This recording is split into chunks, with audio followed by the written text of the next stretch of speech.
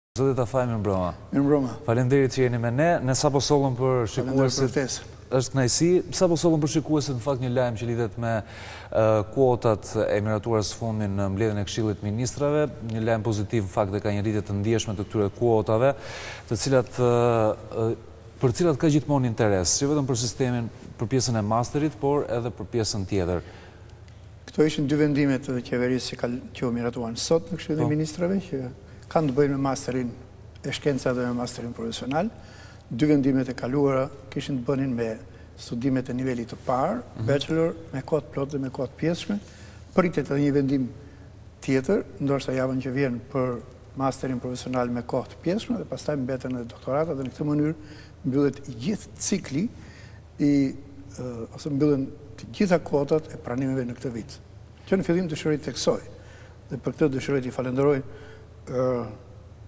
profesorët dhe drejtuesit e universiteteve publike për propozimet që kanë sjellë, këtë vit Shqipëria pranon rreth gjashtëdhjetë mijë studentë në nivelin e parë me kohë të plotë dhe kohë të pjesshme dhe në nivelin e dytë me kohë të plotë dhe kohë të pjesshme, është niveli më i lartë i pranimeve që ka arritur ndonjëherë sistemi ynë arsimor, pra i arsimit të lartë, është një shifër e cila është më e madhe se sa numri total i studentëve që ka pasur Shqipëria në vitin akademik dy mijë e katër, dy mijë e pesë. Pra këto janë vetëm pranimet e reja.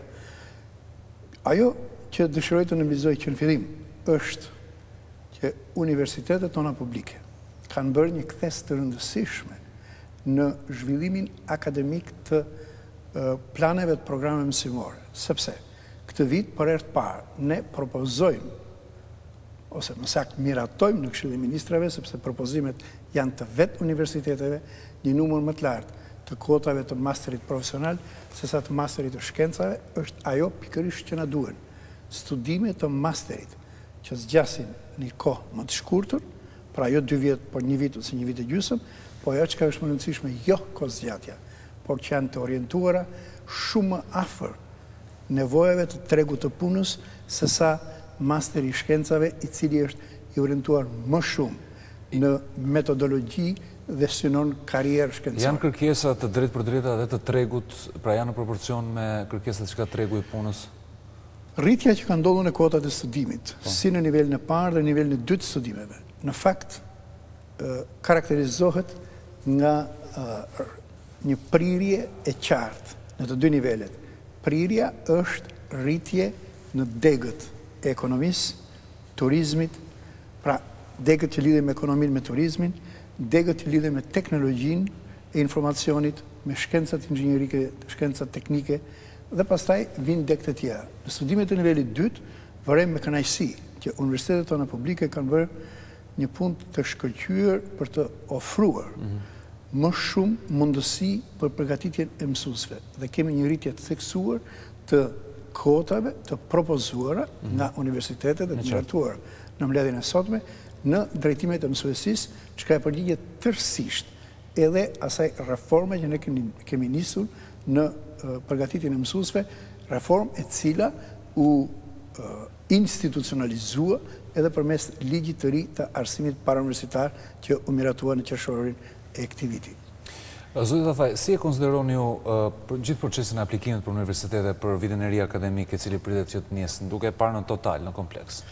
Këtë vit ne kemi bërë një hap të rëndësishëm cilësor, i gjithë procesi i aplikimit po zhvillohet online, plotësimi i formularit A dy përfundoi me sukses, tani presim fazën përfundimtare, e cila ka të bëjë me shpalljen e listave sipas pikëve dhe preferencave që kanë marrë maturantët dhe pastaj do të ndodhë faza e fundit, faza e regjistrimit në fakultete, ne synojmë që këtë fazë ta bëjmë që këtë vit tërësisht online, që maturantët të kenë mundësi të aplikojnë me një, të klikojnë menjëherë në kompjuterin e tyre, dhe ky do ishte një lehtësim i madh, ne synojmë ta arrijmë këtë në plotësimin e formularit A dy, ne përdorëm edhe formularin në letër, sepse ishte viti i parë i aplikimit për t'i dalë përpara çdo të papriture ose mosfunksionimi jo të sistemit po më shumë pasaktësisë të të dhënave që kanë dërguar shkollat se shpesh janë vënë re të dhëna të gabuara që pastaj u nxjerrin probleme dhe vështirësi maturantëve. Kemi një perceptim për atë që mund të konsiderohet niveli i konkurrentëve këtë vit? Niveli i konkurrentëve është i njëjtë me atë të dy viteve të fundit, Në me formularin a dy kanë aplikuar rreth tridhjetë mijë maturantë, në fakt ky numër është gjithmonë mbi shtatëdhjetë për qind të numrit total të maturantëve që kanë kaluar me sukses maturën shtetërore dhe në rast se marrim në numrin e kuotave që ofrojmë në nivelin e parë të studimeve që janë njëzet e shtatë mijë me kohë të plotë dhe dhjetë mijë me kohë të pjesshme, pra ne ofrojmë tridhjetë e shtatë mijë kuota, këtyre mund t'u hiqen vetëm tre mijë që u përkasin atyre që kanë përfunduar një herë një diplomë dhe dëshirojnë të bëjnë një diplomë të dytë, por tridhjetë e katër mijë kuota janë në dispozicion të maturantëve vetëm në shkollat publike të në shkollat e larta publike të Shqipërisë, çka do të thotë që praktikisht për çdo maturant që ka kaluar me sukses maturën shtetërore, ekziston mundësia që të fitojë një vend studimi në universitetet publike. Është sot, zoti Tafaj, më e vështirë se sa vitet shkuara për ta fituar këtë drejt studimi? Mendoj që jo. Natyrisht, numri i maturantëve që arrijnë rezultate më të mira nga viti në vit pëson një rritje të lehtë. Ajo që ne kemi pa, që kemi vënë re në vitet e kaluara, kur gjimnazi ishte orientuar në drejtimin natyror dhe drejtimin shoqëror, i cili në fakt nuk ishte drejtim ose orientim më saktë, i mbështetur në aftësitë dhe prirjet e maturantëve sesa në maturantët më të mirë dhe maturantët jo dhe aq të mirë. Këtë vit ne kishim brezin e parë të maturantëve që përfundoi me planin dhe programin e ri mësimor të gjimnazit, ku secili maturant zgjedh vetë se çfarë, në cilin drejtim do të thellohet dhe nuk bëhet zgjedhje me shkollë apo me grup me disa klasa. Dhe kjo vërtetoi edhe një herë që ne kemi një rritje të numrit të maturantëve që arrijnë rezultate shumë të mira. Shumica e tyre zgjedhin përgjithësisht lëndët natyrore, por ka edhe maturantë që zgjedhin lëndët shoqërore dhe shkëlqejnë. Ajo që ishte karakteristike, një veçori dalluese shumë e rëndësishme në këtë vit që u mbyll, në këtë maturë ishin se gjysma, ishte se gjysma e maturantëve përzgjodhën gjuhën e huaj dhe prej tyre trembëdhjetë mijë maturantë përzgjodhën gjuhën angleze.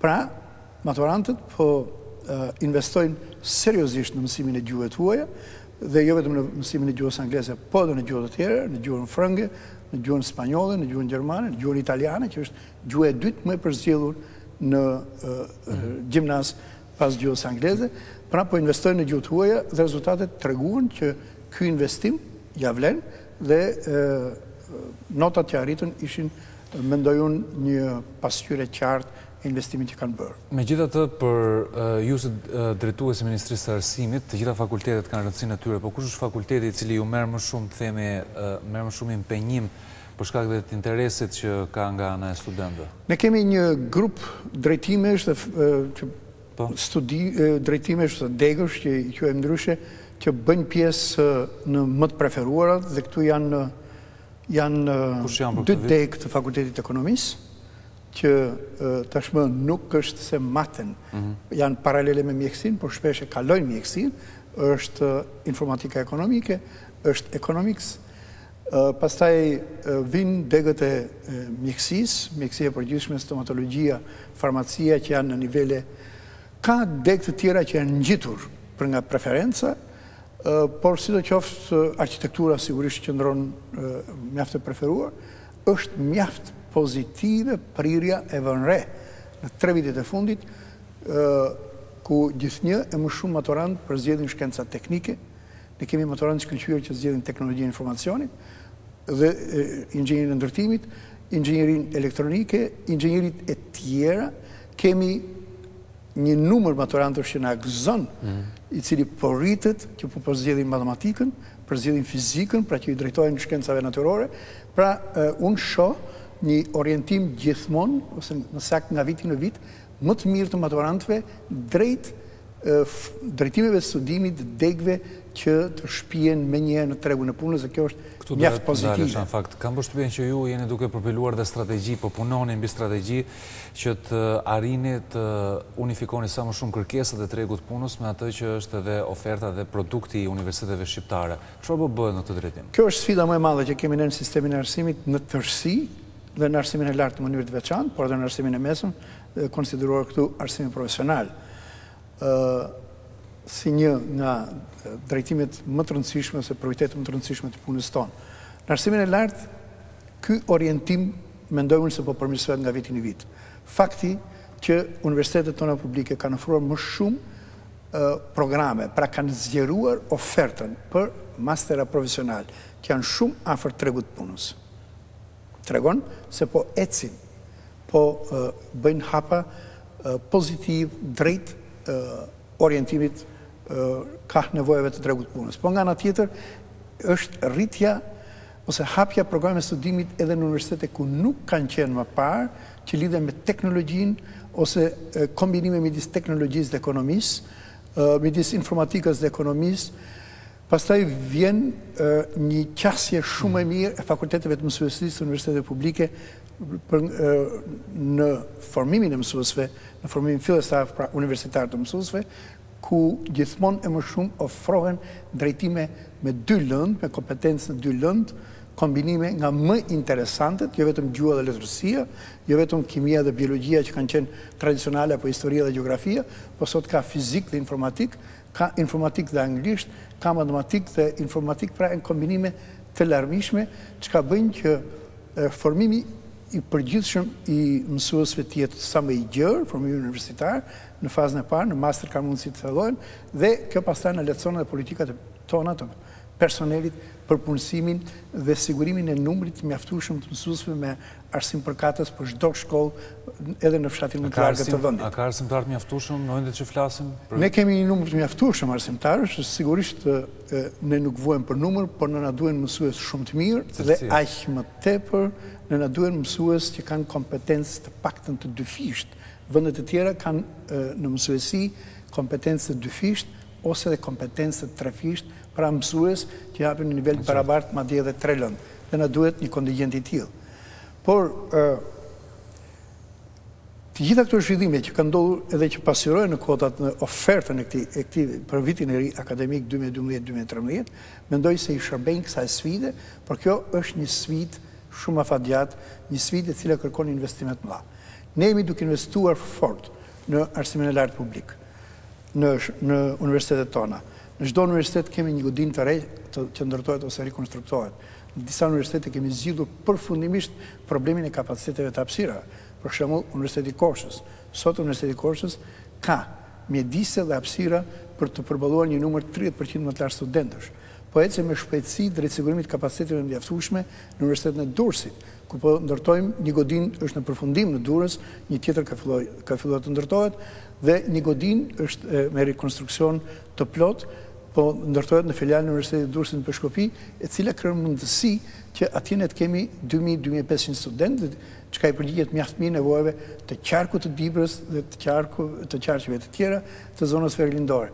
Investime të tilla po bëjmë edhe në universitetet tona publike, në Universitetin e Tiranës, Me godinën e parë të kampusit, me godinat e tjera që janë transferuar dhe që po rikonstruktohen, në Universitetin Politeknik, në Universitetin Bujqësor, në Universitetin e Arteve, të Sporteve, dhe këto kuota të rritura, të propozuara nga universitetet në fakt, pasqyrojnë këto investime të mëdha, do të thosha unë, që janë bërë në arsimin e lartë publik, dhe këto janë vetëm investime që përkasin infrastrukturës. Por ka investime në burimet njerëzore, çka është më e rëndësishme. Sot, ne kemi një numër qartësisht të rritur të pedagogëve dhe do vazhdojmë ta rrisim numrin e pedagogëve dhe në këtë mënyrë universitetet do kenë mundësi ta zgjerojnë ofertën e tyre dhe të rrisin cilësinë e mësimdhënies dhe ajo çka është më e rëndësishme, të intensifikojnë kërkimin shkencor dhe bashkëpunimin internacional. Por, investimet kanë ndodhur e do vazhdojnë në laboratore. Me projektin që kemi së bashku me Bankën Botërore, ne kemi investuar në laboratore për shkenca natyrore teknike në të gjitha universitetet publike dhe do vazhdojmë të investojmë më tej.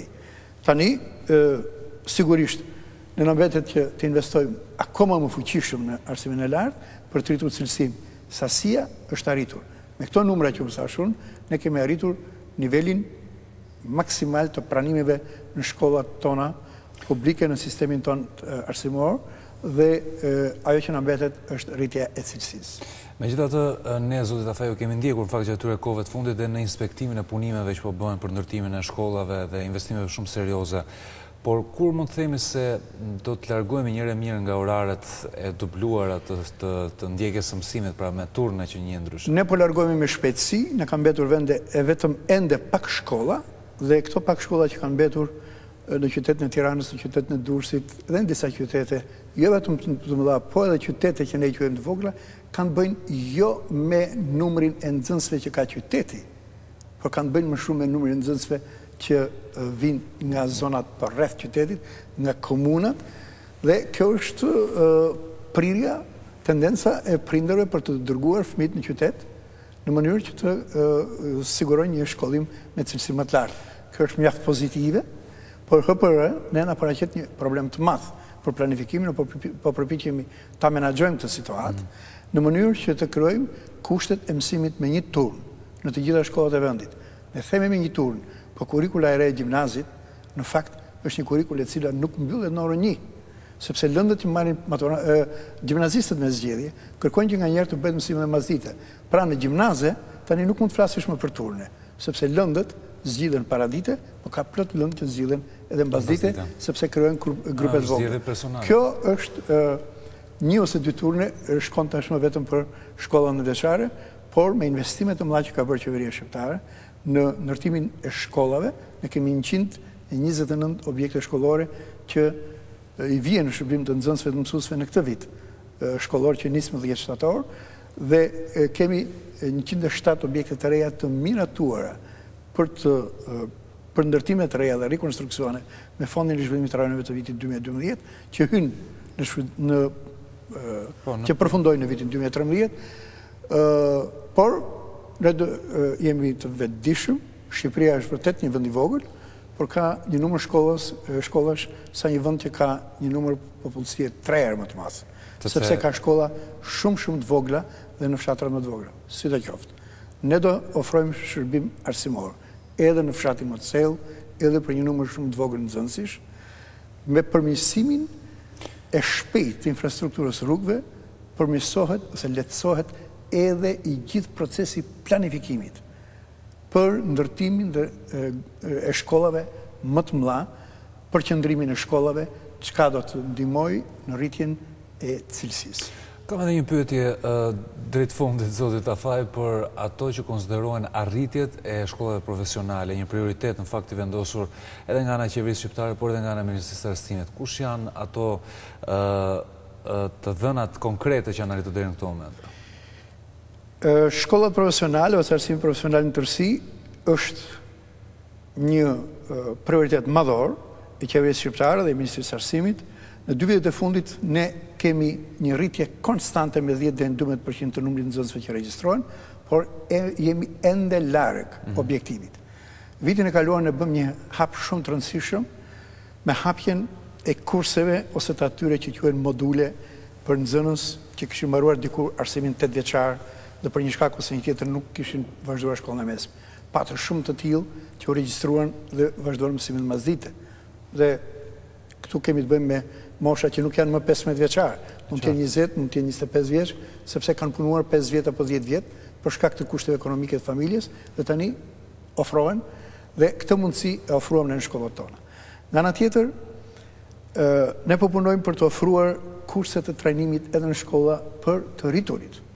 Ne kemi qendra të formimit profesional në nëntë nëntë të tilla në gjithë vendin dhe kemi zona që nuk mbulohen me qendra të formimit profesional, këtë duam ta realizojmë përmes shkollave dhe ne po shkojmë hap pas hapi drejt krijimit të atyre që ne i kemi quajtur me ligj qendra shumëfunksionale të arsimit dhe formimit profesional, ku shkollat dhe qendrat e formimit profesional do kenë një ofertë të përbashkët për nxënës dhe për të rritur. Këtë vit ne presim një rritje të mëtejshme të numrit të nxënësve dhe pse? E para, kemi katër shkolla të reja të mëdha, që ndërtohen me mbështetjen e Bashkimit Europian, Shkolla me nga shtatëqind, tetëqind nxënës kapacitet secila, që do t'i vijnë në ndihmë sistemit. Me katër shkollat e reja, ne kemi një rritje të kapacitetit të pranimeve me dhjetë deri në pesëmbëdhjetë për qind. Nga ana tjetër, kemi hapur një sërë degësh të reja, krejtësisht të reja, për t'u përgjigjur më mirë kërkesave të tregut punës. Cilat kërkesa? Kërkesa që kanë të bëjnë me sektorë shumë të rëndësishëm të ekonomisë, Radhë të parë turizmin, pastaj bujqësinë, teknologjinë e informacionit, hapi që bëmë ne në vitin dy mijë e dhjetë, me hapjen në shtatëmbëdhjetë shkolla të degëve të IT-së, tregoi se ishte, koha tregoi se ishte hap i drejtë dhe ne kemi një rritje të theksuar të kërkesave të nxënësve që mbarojnë klasat e nënta për degë të tilla. Isha në Shkodër dhe me kënaqësi mësova që në shkollën, në një nga shkollat e mesme të Shkodrës, Në shkollën industriale ku ofrohet edhe teknologjia e informacionit, ne kishim kërkesë nga nxënës madje shumë të mirë që kishin mbaruar klasat e nënta për të vazhduar IT-në. Sot, në vendimin e qeverisë ne me një vendim qeverie akorduam disa bursa për shkollën Peter Mahringer në Shkodër. Ajo është një shkollë e shkëlqyer. Maturantët e parë të kësaj shkolle bënë maturën shqiptare këtë vit, por vitin tjetër do bëjnë maturën austriake, që është vërtet një shkollë e një fondacioni austriak që ne japim vetëm disa bursa për nxënës nga qarku i Shkodrës që janë të interesuar të studiojnë teknologji informacioni, këta nxënës kanë shkuar në bizneset që në fund të vitit dytë dhe bizneset janë habitur me nivelin e tyre dhe me zi presin që të përfundojnë shkollën dhe t'i marrin dhe të punësojnë. teknikë në teknologji informacioni. Modelin e Peter Mahringer në Shkodër, ne përpiqemi ta zgjerojmë në Shkodër, përpiqemi ta zgjerojmë, ta sjellim edhe në Tiranë në një shkollë ku kemi teknologji informacioni. Pra, hapja e degëve në fusha të tilla i tërheq nxënësit. Sot, prindërit gjithmonë e më shumë janë të interesuar t'i orientojnë fëmijët në shkolla që i çojnë sa më shpejt në tregun e punës. A ka ndodhur ky sensibilizim? Kjo ka filluar, ne jemi, mendoj, në hapat e para, por na duhet më shumë informacion. Ne kemi bërë një hap të rëndësishëm në dy vjet e fundit me informacion, me ofrimin e një informacioni intensiv për prindërit dhe nxënësit që në muajin shkurt, mars, Dhe fillojmë me klasat e nënta, por këtë vit u morëm me klasat e teta, do shkojmë në klasat e shtata dhe kemi këtu asistencën e një projekti gjerman që vepron në Shqipërinë Verilindore dhe që zhvilloi gjithë këtë paketë informacioni. Këtë vit ne fillojmë në në pesëdhjetë shkolla të mesme të përgjithshme në Shqipëri një projekt në bashkëpunim me Fondin me Fondin Shqiptaro-Amerikan të Investimeve, i cili do t'i edukojë të rinjtë me ndjenjën e arritjeve, me ndjenjën e punës individuale dhe, ajo çka është më e rëndësishme, me ndjenjën e me zhvillimin e shpirtit të një investitori, cilësi këto dhe kualitete sipërmarrësi që ne na mungojnë në sistemin tonë arsimor. Ky projekt do bëhet në 50 shkolla të vendit. Ne kemi një bashkëpunim, një projekt, një marrëveshje me Fondin Shqiptaro Amerikan të Investimeve dhe këtë do ta shtrijmë ne në të gjitha shkollat e mesme të përgjithshme. Nga ana tjetër në shkollat e mesme të përgjithshme lënda e teknologjisë po zgjidhet gjithmonë e më shumë nga gjimnazistët dhe pastaj Me këtë projekt do shkojmë edhe në shkollat profesionale dhe do zbresim në arsimin bazë që nga klasa e gjashtë për të zhvilluar këtë ndjenjë të sipërmarrjes, këtë shpirt të sipërmarrjes tek nxënësit që në mosha të hershme. Çfarë ndodh në raport me arsimin privat? Si po ecën procesi? A ka një supervizim të në lidhje me regjistrimin në këto universitete? Ne kemi një udhëzim të qartë për regjistrimin në këto universitete, për herë të parë këtë vit ne Barazuam standardin. Deri tani në për pranimet në ose për t'u pranuar në arsimin e lartë publik, duhet të kishe kryer patjetër me sukses katër provime të maturës. Ndërsa për pranimet me kohë të pjesshme në arsimin publik dhe në arsimin privat, mjaftonin dy provime. Këtë vit, Ky standard është krejtësisht i barabartë. Për t'u regjistruar, si në arsimin publik, ashtu dhe në arsimin privat, duhet të kesh katër provime të suksesshme të maturës. Ka një udhëzim krejt të detaj, shumë të detajuar i cili është në websajtin e ministrisë. Në websajtin e ministrisë prindërit dhe maturantët mund të gjejnë të gjithë informacionin e nevojshëm, çfarë duhet të pyesin, çfarë duhet të kenë në vëmendje kur i drejtohen arsimit të lartë privat. deri tek lidhja e kontratës. Çfarë duhet të kenë në fakt? Çfarë duhet të kenë më shumë? Çdo gjë. Po. Duhet të pyesin cilët janë pedagogët. Mm -hmm. E para çfarë është kjo degë? Cila është oferta? Cilat, sa janë shanset për punësim? Cilët janë pedagogët që japin mësim? Në mënyrë që të gjykojnë, pra të kenë një pritshmëri reale. Dhe pastaj ajo që është më e rëndësishme, duhet të kërkojnë të takojnë studentët që janë duke studiuar. A janë të kënaqur studentët apo nuk janë të kënaqur studentët? Për degët që janë profesione të rregulluara, ne kemi një vit që zhvillojmë provimin e shtetit, kanë rezultatet e provimeve të shtetit. Pra, ne kemi një informacion shumë të detajuar në website-in e ministrisë, në website-in e agjencisë. Dhe ky informacion është për prindërit, është edhe për maturantët. Këtë informacion ata e kanë edhe në broshurë, e ka marrë çdo maturant. Ne kemi dy vjet që e shpërndajmë këtë dhe ka secili këtë broshurë në dorë, që i tregon Çdo gjë. Çfarë duhet të di kur zgjedh një shkollë të lartë për nivelin e parë apo për nivelin e dytë, qoftë kjo private apo dhe publike? Ndërkohë, di që Ministria e Arsimit ka një projekt për të pajisur çdo student që ka mbaruar studimet apo është duke i ndjekur ato me të gjitha të dhënat e tij personale. Është një projekt ambicioz në fakt, po çfarë mund të na thoni për këtë? Ky është një projekt që tani tashmë është që funksionon, Çdo student i regjistruar vitin e kaluar ka marrë një numër kombëtar të regjistrimit, çka do të thotë që me këtë numër edhe diploma duhet ta ketë këtë numër dhe me këtë numër identifikohet çdo student që ka studiuar në Shqipëri. Kanë dhe studentët që kanë përfunduar studimet. Dhe studentët, studentët që janë regjistruar në vitin dy mijë e njëmbëdhjetë e kanë këtë numër. Studentët që janë regjistruar para vitit dy mijë e njëmbëdhjetë e kanë numrin e tyre, por janë në database-in tonë tërësisht. Pra gjithë studentët Që janë në proces, janë në database-in kombëtar të Agjencisë Kombëtare të Provimeve, e cila ka një drejtori vetëm për database-in. Siç e thashë, për gjithë ata që kanë filluar studimet vjet kanë marrë një numër regjistrimi. Këtë numër regjistrimi do ta marrin edhe këtë vit, pra ky tashmë ky është një proces në vazhdim. Por, në këtë agjenci ne kemi edhe një sektor tjetër të database-it të arsimit parauniversitar dhe këtu, Të gjithë nxënësit e gjimnazeve kanë numrat e tyre, por do të kenë numrat e tyre të gjithë nxënësit e shkollave nëntëvjeçare dhe ne synojmë shumë shpejt, që nga klasa e parë, kur hyn nxënësi në klasën e parë, të marrë një numër regjistri dhe ky numër është për të gjithë. Dhe ky numër bartet në të gjitha ciklet e studimeve deri në përfundimin e studimeve universitare. Dëgjuam këshilla të vlefshme por edhe informacione të rëndësishme për ne gazetarët. Faleminderit. Faleminderit dhe ju për